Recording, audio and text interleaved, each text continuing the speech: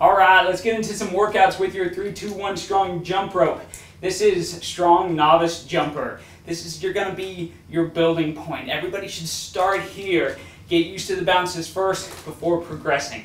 So for this, we're not even gonna jump over the rope. We're gonna hold the rope at our sides for this beginner level, and we're just going to bounce. You're gonna start off with just a bounce step.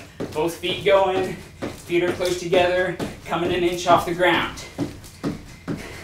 Put the workout right over here next to me so that you can see it, but you're doing this for 30 seconds, and then you're gonna do a 15 second break. After the 15 second break, alternating steps. So it's kind of just like jogging in place. I want your elbows at your sides. Keep the rope down and out in front of you ever so slightly. Get used to this. You do this for 30 seconds. Take another short break. Back to alternating steps for 30 seconds another short break, and then the bounce step again, 30 seconds, and a one minute break in between rounds. I want you to do a total of five rounds.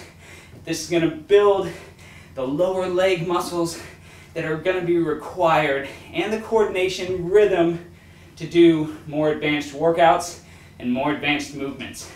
So don't skimp here, practice this routine, and then move on.